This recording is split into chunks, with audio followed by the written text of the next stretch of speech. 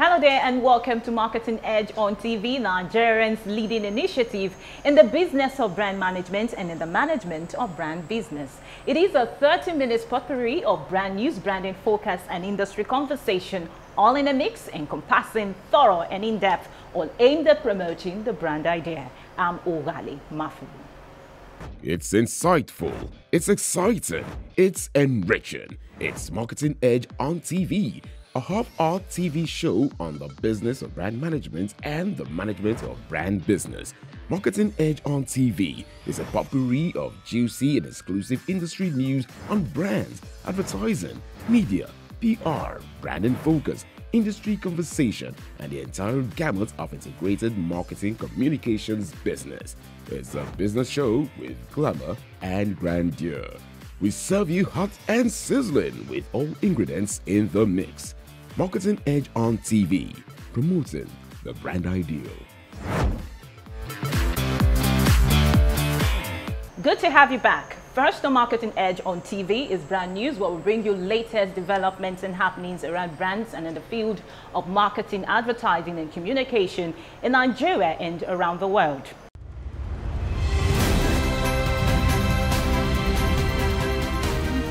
In pursuant of the statutory provisions of the code governing the National Institute of Marketing of Nigeria, NIMN, the institute has concluded plans to hold its annual marketing conference, annual general meeting, as well as conduct a new election for new set of leaders for the governing council of the institute.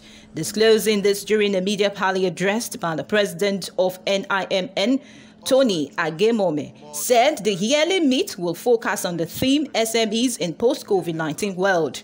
The Conference of Marketers will hold on the 27th May 2021 at 10 a.m. in Radisson Hotel Ikeja, Lagos. President of the institute also announced that the election into different positions into the governing council will take place during the annual general meeting scheduled to hold on the 28th of May 2021, same venue. Positions that are open for contest are president and two council seats. Max 102.3 FM, the radio arm of TVC Communications, has announced plans to launch the biggest music concert in Nigeria. According to the organizers, the well-planned event is designed to reintroduce the world to the normalcy of pure entertainment through live performance of Nigeria's topmost artists in the entertainment industry. In a statement, TVC Communications CEO Mr. Andrew Hanlon said the event will be a demonstration of how media companies should engage in advertising partnerships around entertainment events while establishing deeper connection with their brands. Recall that Nigerian's leading independent broadcasting company TVC Communications, owners of TVC, TVC News, Max FM Lagos and Abuja and Adaba FM, recently announced that its radio station 102.3 Max FM Lagos has now exceeded 2 million listeners per day, according to the latest official AMPS radio ratings for March 2021. The radio station had Andrew Hanlon in less than four years on air, performed beyond industry expectations with significant year-on-year growth, now ranking as the fifth largest station of 40 in the commercial capital. Similarly, Max FM Abuja is powering ahead of its competitors with a very impressive market share. Foremost dairy company, Freshland Capina Wamco Nigeria PLC, has reported a turnover of 199.5 billion naira in 2020. According to information obtained from the company's 48th annual general meeting, the commercial and financial performance of the year showed considerable improvement compared to the previous year, despite the challenges presented by the pandemic. Following its expansion drive, FrieslandCampina WAMCO acquired Nutricima factory in Ikorodu during the year under review. The acquisition underlines the dairy company's continued commitment to contribute to the development of the Nigerian dairy sector and satisfy the need for additional production capacity for it to meet the growing consumer demand for locally produced dairy. Well, that was brand news on Marketing Edge on TV. Branding Focus after this break.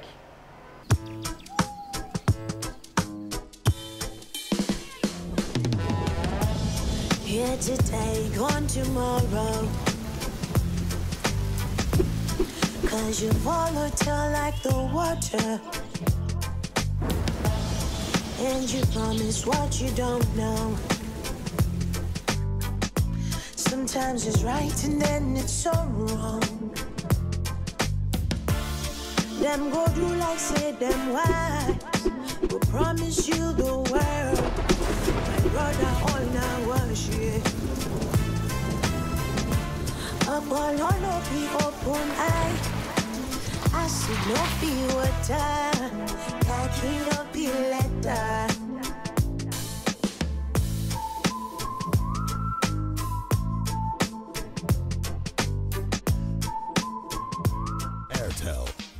Smartphone network. He's not my real father, Auntie. But you already know this, Lara darling. Yes. But after 25 years, she just told me who my real father is.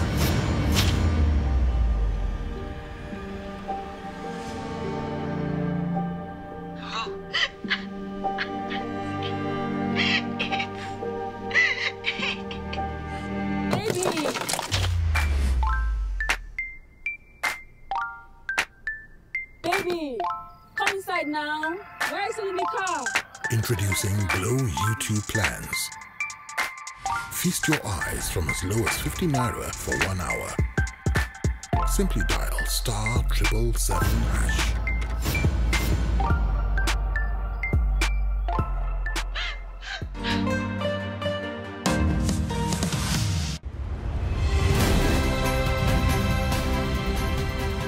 This may perhaps be one of the most challenging moments for those involved in the business of brand management and in the management of brand business in the country.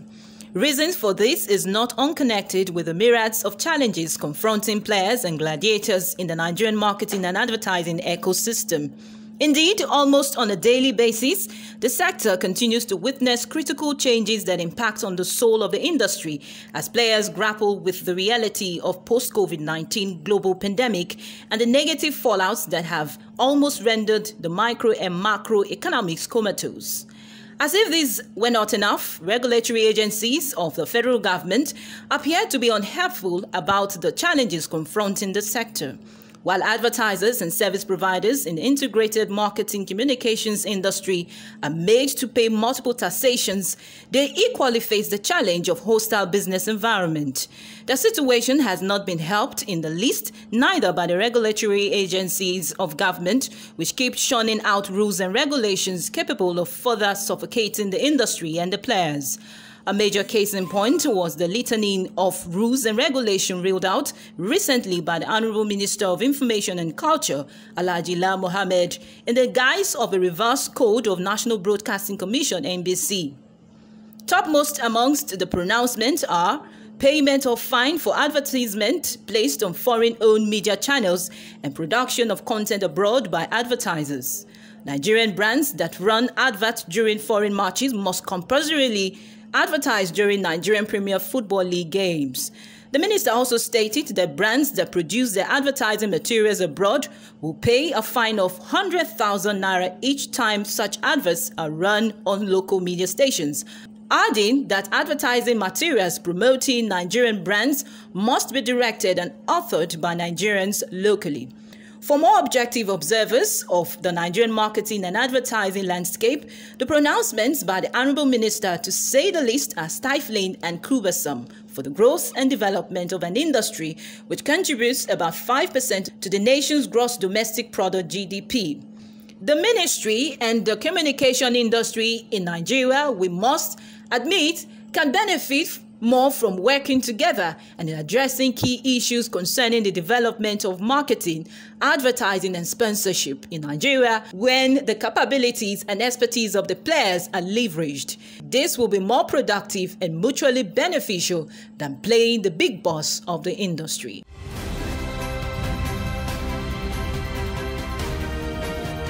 Well, that was Branding Focus on Marketing Edge on TV. Next is Industry Conversation, where we have one-on-one interactions with distinguished personalities who have made tremendous impact in the field of marketing, advertising, and communication. Well, today on Industry Conversation, we'll be speaking with the Commercial Director of TVC Communication. He will be speaking on TVC Communication as a brand and also bearing his thoughts on various issues affecting the industry. Well, Industry Conversation comes to you after this break.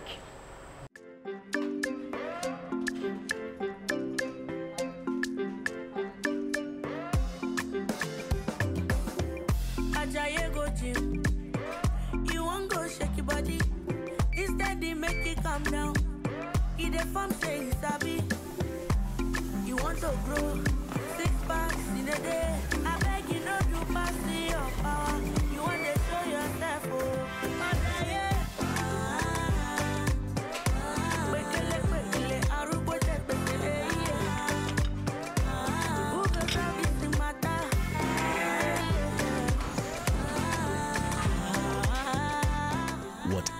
size, find it with the new Airtel data plans.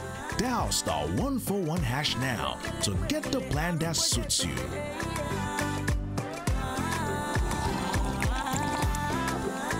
Airtel, the smartphone network.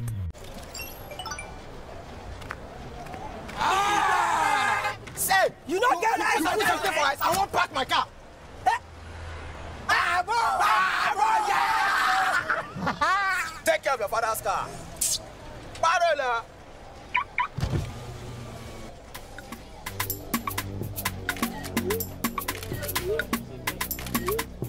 Alpha Emma Bro! Put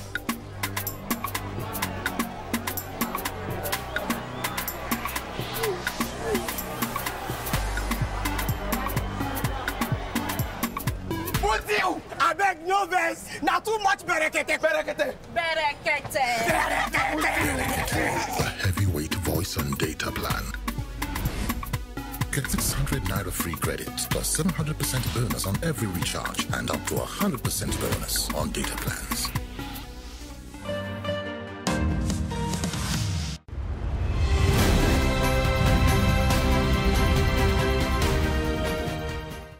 Hello there and welcome to Industry Conversation, a segment on Marketing Edge on TV, where we have one-on-one interactions with top and high-ranking personalities who have distinctive impact in the business of brand management and in the management of brand business through effective communication, advertising, and marketing.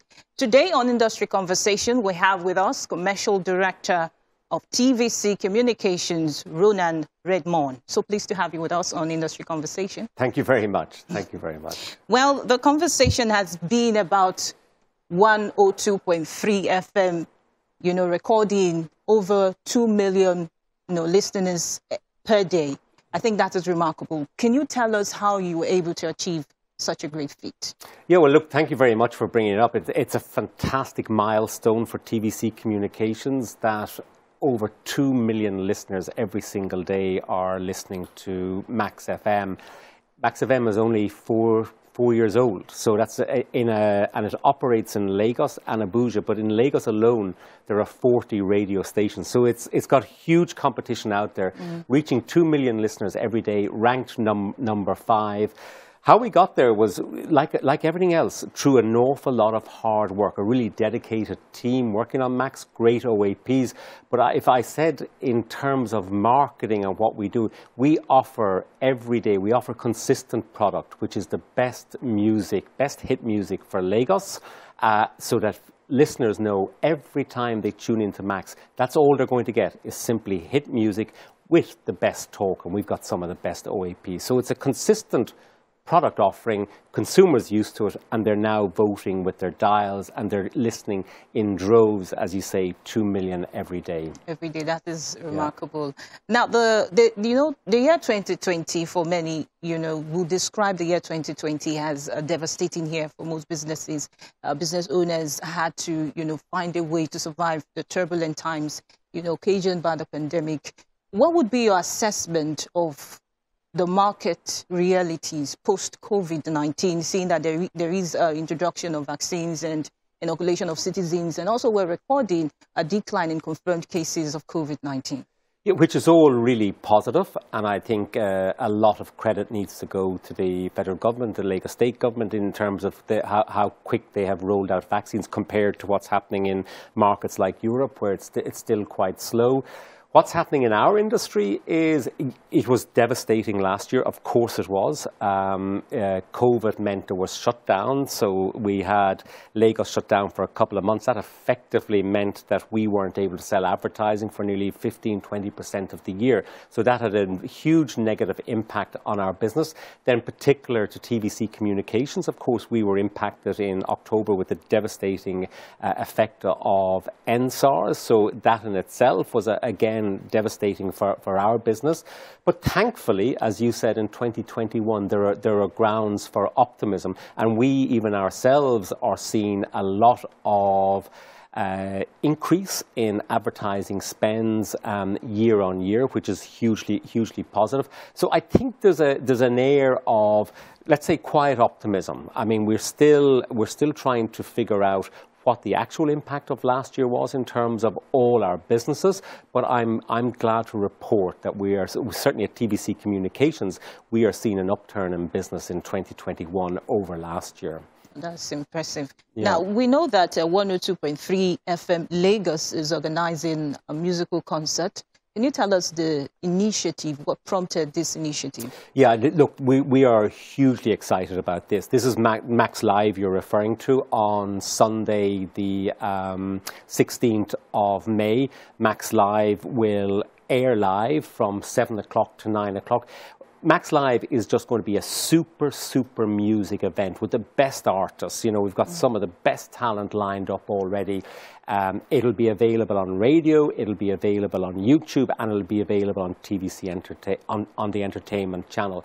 What it is really is it's our move as a business into the whole area of activation, activation through entertainment. It's something we would have wanted to do possibly in 2019, and we had plans for 2019, 2020. But obviously, with COVID and no live events and the, the, the ban on gatherings, yes, we had to put everything to, to one side. This is our way of, I suppose, saying a huge thank you to all of our listeners and all of our viewers. Remember, every single day, we're talking about Max FM now, but we've got TVC News and we've got TVC Entertainment. Every single day, 14 million people watch and listen to our channels. Max Live is a free music event which all of those people can access. So first and foremost, it's, it's a big thank you to those. It's really important for us, though, as an entertainment channel, that we get close to our consumers, and our consumers love entertainment. So by us getting into this area is, I suppose, our opportunity to get in amongst where our consumers are, oh, our viewers okay. and our listeners. Okay, so that's uh, more like telling us the reason for choosing entertainment, because that would be my next question. What do you think about the attraction of brands using entertainment you know, to foster their brand promotional messages? Yeah, well, look, we, we all we, we all want to talk to consumers. So, you know, we as a television and a radio company, we want to talk to, I suppose, uh, viewers and listeners, but advertisers want to talk to those same people as well. So, us getting into this space allows brands associate themselves with the, with the, the likes of Max Live. And we're very fortunate um, on Max Live. We've two big headline brands. We've got, we've got um, Lush Hair um, are, are, sponsoring us uh, in particular, and we've also got um, Guinness sponsoring us, and we've got Munchett sponsoring us. So we've got some great sponsors. And why they are sponsoring us is they know it's going to be a fantastic event. They want to be associated with fantastic events because mm-hmm. they want their consumers to know that they are part and parcel of the, this event. So it's always really important for brands to get associated with media companies in around creating these great events because it leaves a lovely legacy effect for the, the viewer and the listener. Okay, so how would uh, brand owners and media, you know, relate in such a way that these becomes a win-win situation on both sides? Yeah, I, th- I, think what it is is, you know, we know at TVC Communications, we know who our viewers and our listeners are from, a, from, from what they like in terms of entertainment. Brands know who their customers are, and they tend to be the same people. Okay. So if we collaborate with um, with brands um, around events like this, we have a lot of information that we can share with the brands in terms of what our viewers and listeners want in terms of just general entertainment. But the brands can share a lot of information with us as well in terms of what the likes of those audience are. So we can collaborate around intelligence first and foremost, but then we can collaborate uh, around just in terms of joint investment, which is, but you've already seen it. You know, we are not, we're not the first in this market. You know, we're, certainly we're getting in and Max Live is going to be a huge event, but you already see it with Big Brother Naija. You see all the brand engagement there. You see it with Love Island is going to happen. You see it with Nigerian Idol. You see all the brands coming in there. There's already great joint partnership going on, but this, why I'm so excited about this is this is our first foray into, mm-hmm. into mm-hmm. this area mm-hmm. and to get all of those um, brands coming on board. So, uh, Fearless was the one I hadn't didn't mention earlier. To get all of those brands coming on board is huge testament to they know we can put on a great event and they know we can connect with all of these consumers. Okay. So the 102.3 concert, music concert that will be coming up on Sunday, you said. Yeah. How would this, you know, fit into the vision and mission of 102 FM and, of course, TVC Communications? Well, first and foremost, on, Mac, on Max FM, what it does is it gets Max into a space now where people see it as a real entertainment channel because it's putting on entertainment events. It gets our OAPs, and our OAPs will be presenting the event. It gets our OAPs in front of their listeners as well. So, you know, with radio, often one of the great difficulties with radio is it's an audio, it's not a visual. Mm-hmm. Um, this allows us be audio and visual, so it allows people see their favorite OAPs okay. because mm-hmm. it's going out on. TV, it's going out on YouTube. So for us, uh, for Max, it's getting us in amongst our audience. And as I said, it's a big thank you. It's free of charge, so it's a mm-hmm. big thank you to our audience. But for us as a company, for TVC Communications, you will see a lot more initiatives like this for our television channels, be it TVC Entertainment.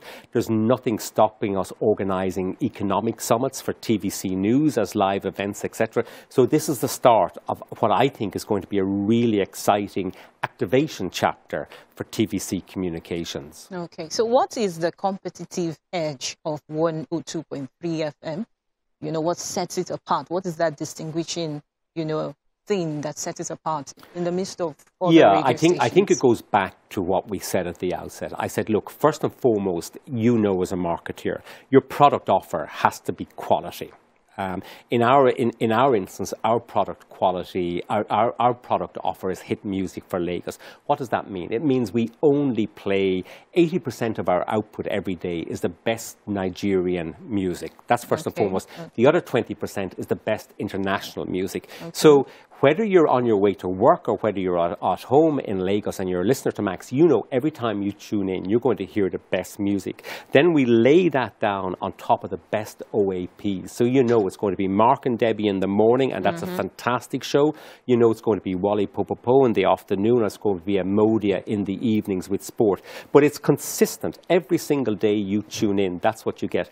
And then more recently, nobody else is doing this. We have become the home of the big uh, promotions, the big giveaways. Max Millions, we launched Max Millions into this market where, again, our listeners, simply by listening and phoning in, have the opportunity to win a million naira in Max Millions. So now mm-hmm. people know that when I tune in, I get the best music, mm-hmm. I get the mm-hmm. best talk, and I have the opportunity to win the best prizes. That, I believe, is what is our unique selling point for okay. Max in what is a very competitive radio market.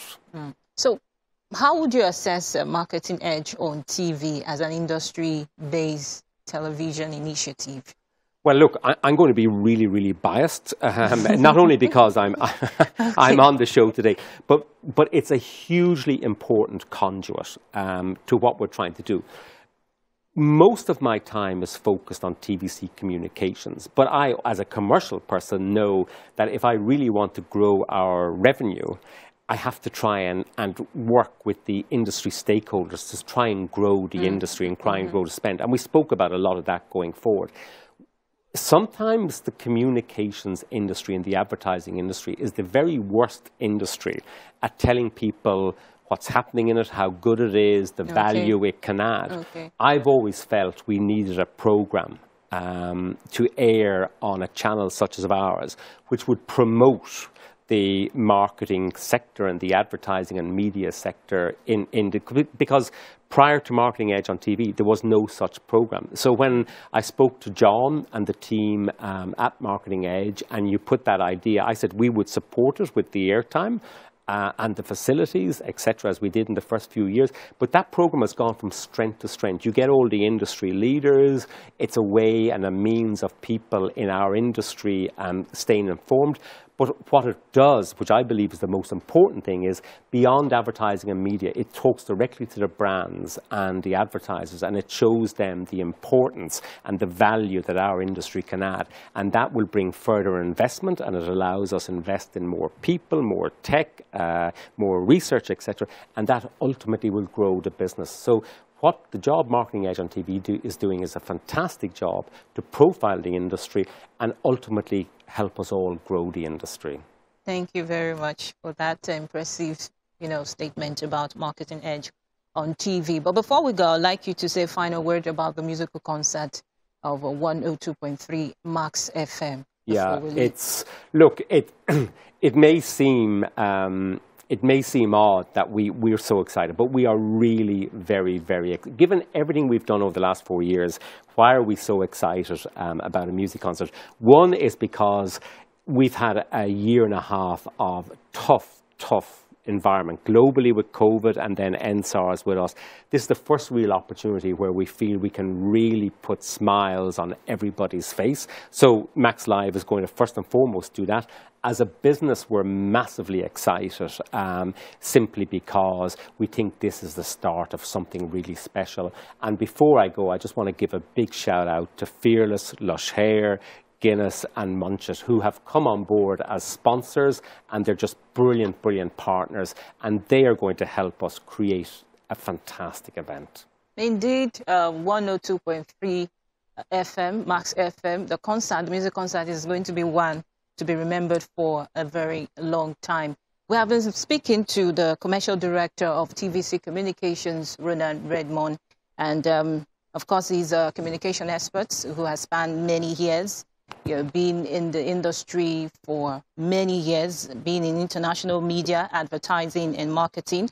He has also worked for a number of broadcasters, both TV and radio, holding commercial portfolios uh, with role having always been about helping media companies to maximize their commercial revenues through selling, advertising, sponsorship, promotion, and all other revenue opportunities. It's very, very um, awesome to have you on Industry Thank you. Conversation today. Thank you very much for sparing us some time to speak with us. And yes, for bringing some excitement to the people through the music and concert. Well, it has been an exciting time on Industry Conversation where we've been speaking to, as I've told you, the commercial director of TVC Communications. Uh, do well to join us for another interesting and insightful time on Marketing Edge on TV. I'm Ogali Mafuru.